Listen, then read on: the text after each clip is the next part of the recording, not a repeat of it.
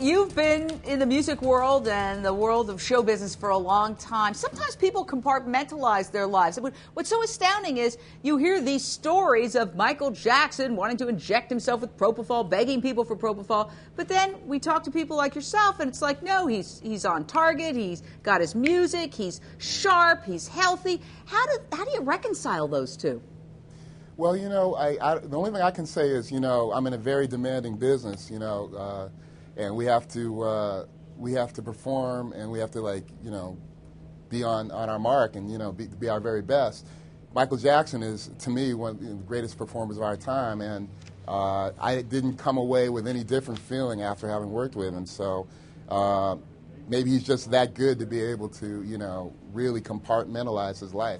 I can't really say. I know about the part on the stage, and uh, you know, he was amazing every day. And he was joking. What was his mood? Yeah, I, I completely remember him laughing. You know, I remember, uh, you know, at this point, all of the uh, the hard work had really, really been done. You know, there were a few more gags, as we call them, a couple technical things we had to get through. The music was pretty much done. We decided uh, the set list, the right keys for everything. I mean, there's it's just massive the amount of work. And uh, you know, everybody on the in the production had this feeling like, okay, we got you know X amount of days to go, and uh, we're ready to hit.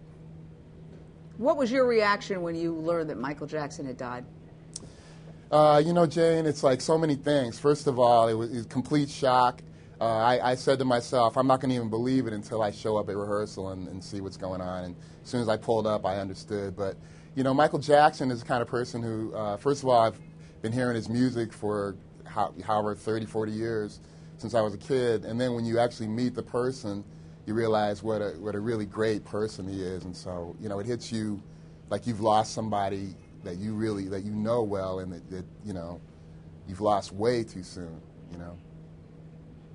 And your reaction to all the personal details that are being revealed in this case, his autopsy photo, talk of his urine, and all of these very personal things you know, truthfully, I don't think they all need to be on television, but um, you know, I uh, I haven't really been following. I'm you know I'm, I, I, work pretty hard and I don't really watch a lot of television, but um, you're, you're busy making music and yeah. good music, and yeah. we want to thank you so much for coming on. And thank you, Jane.